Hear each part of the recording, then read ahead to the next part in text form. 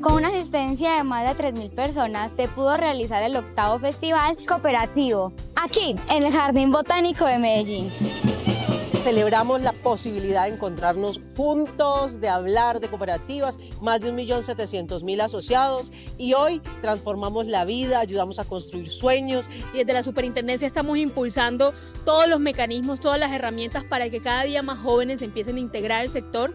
Me ha gustado mucho los juegos y me gusta la garcía que me dieron. Me gusta que el lugar es muy bonito y que también puedo compartir con mi familia la dinámica de esto, cómo era su gastronomía y las cosas que enseñan como sobre el café y así.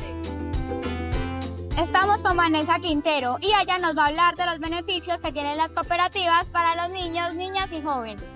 Para los niños y las niñas, ingresar a una cooperativa desde esa edad es muy valioso porque desde ese momento pueden aprender sobre cultura del ahorro, educación financiera, acceder a apoyos educativos, kits escolares, formación en, en ejercicios de liderazgo. Anímense niños, niñas y jóvenes a participar del modelo cooperativo.